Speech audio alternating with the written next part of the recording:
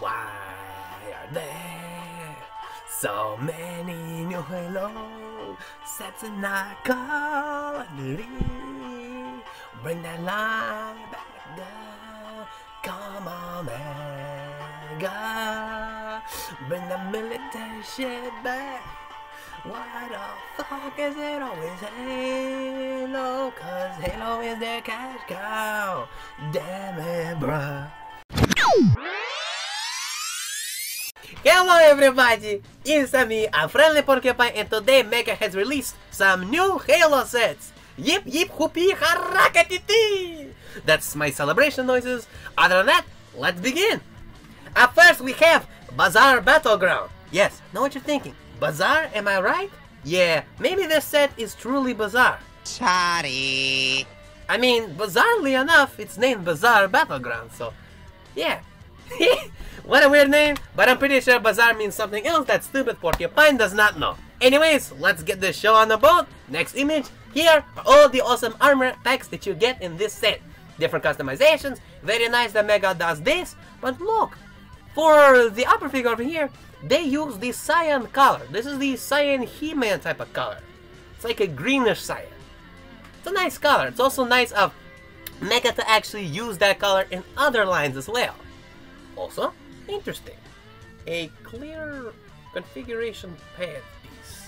Yeah, that's probably what it is. Also, interesting, look at this. Do you remember the old Halo pistol? Well, now this pistol over here has a little light underneath. Very nice. That could be great for Call of Duty figures. You get nothing. You lose. Also, the carbine over here, nicely molded.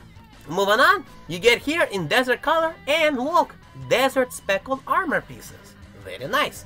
And look, remember that awesome Call of Duty piece? Yeah, it's also here and it's that nice rubbery mold. So very nice for them to throw it in here too. Oh, and of course over here you just get a third. Very simple, feels like some something Knuckles would design, but just with a little bit extra spice. Anyways, moving on. Over here with this set, I really like this nice thing you get to hop over. Plus, if you very much pay attention, notice that black railing mold.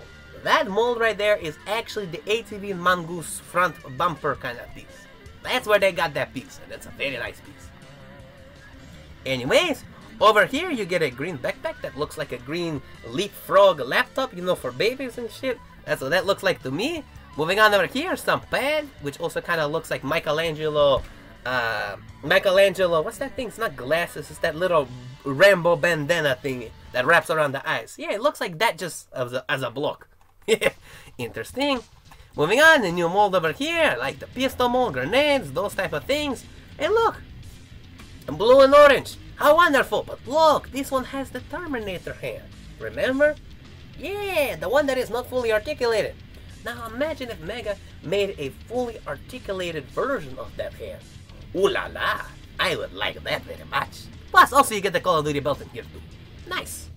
And here's how everything plays out. Look, you get two figure stands done in gunmetal black color with the speckles. Nice! Let me know in the comment section below what your favorite part of this set is. Other than that, my comrades, I hope you enjoyed the news. If you did, like and subscribe, and I'll catch you in the next one, my comrades. Thank you very much for watching, and take care.